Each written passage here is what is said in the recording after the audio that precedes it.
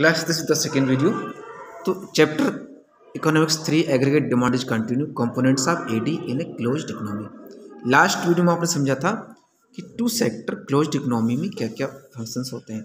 Second one देखते हैं three sector closed economy तो उसमें दोनों सेक्टर सेम होंगे टू सेक्टर क्लोज्ड इकोनॉमी के बट इसमें थर्ड वन और ऐड किया गया। तो first one household sector second producer sector and third one government sector तो household sector producer sector आपने सेम मैं आपको एक्सप्लेन कर चुका हूँ। हाउस होल्ड सेक्टर में कौन कौन आते हैं? Consumption of self goods and production sector producer sector में purchase of goods for purpose of investment ये दोनों यहाँ पर भी हम समझ चुके हैं। तो ये थ्री सेक्टर में भी ये दोनों इंक्लूड हैं।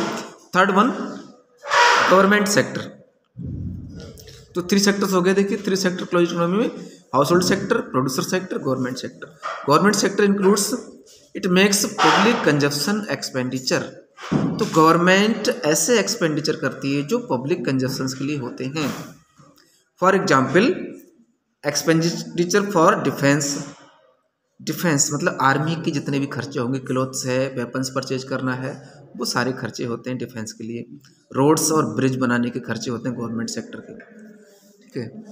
अब इसका एक क्वेश्चन इस तरह बनता है। देखिए A D equal C plus I plus G G इसमें और जुड़ जाता है।